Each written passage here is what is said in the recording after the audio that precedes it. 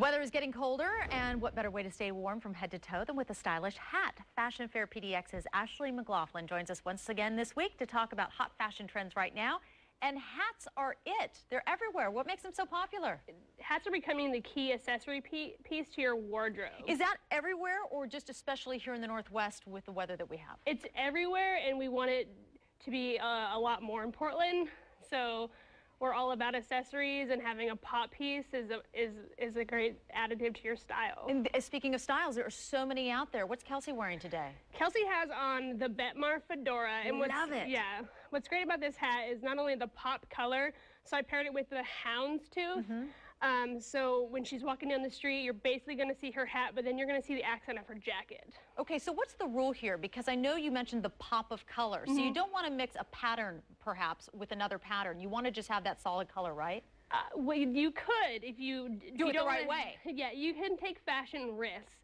So you can you That's can actually yeah you can add um, a pattern to your legging with this jacket and your pop piece, but it's taking a fashion risk and it's basically you have to feel comfortable in your style. Absolutely, and I just love what you've done here because I love the red color yeah. and it just it just pops. And it pops with her blonde hair like perfectly. Fantastic. All right, you're look at this, and he's got feathers in the side of his hat. I just love this, and we'll have you turn so you can just see this little pop right here. Tell us about this hat.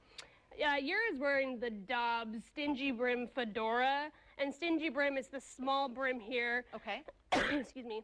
And um, the hat with fedoras, like there's the simple rules with fedoras. If it's tipped down, with gentlemen, it means no communication. Ah. Your hat's tipped ah. down and you're walking, don't talk to me.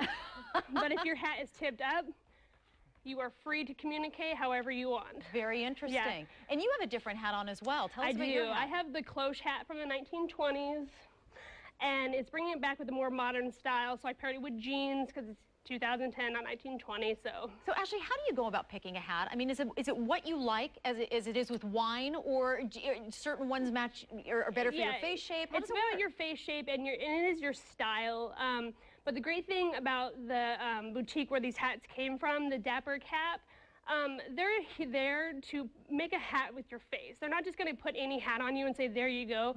They're going to help you find the perfect hat for your, for, for your perfect face shape, your perfect style, everything. So it's like fitting a running shoe. You want to find something that's going to work for you. And let's put this other hat on yeah. here. I love this one too. What kind of hat is this? This is the driver. Very And nice. it's from, you know, the style of the Newsboys. And it's great because this would be day and night transition, um, cocktail attire because he looks very suave in his yeah. outfit here, but he can also pair it with jeans and just, you know, go a day and night with it. Okay, now you have all of us wanting hats. Any specials right now? There is special. The Dapper Cap, it's on Northwest 23rd. Okay.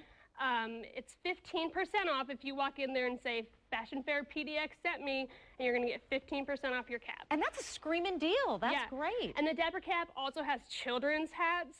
So it's huge for the parents out there who Good. want caps for their children or little snow hats, gloves, scarves, and everything. And it is such a great way to stay warm. Ashley, Kelsey, yeah. thank you so much. Great to have you guys back. All right, Good thank you. stuff, Ashley. And don't forget, for more on this season's hat trends and other fashion advice, head to Fashion Fair PDX, and we have a link at kptv.com.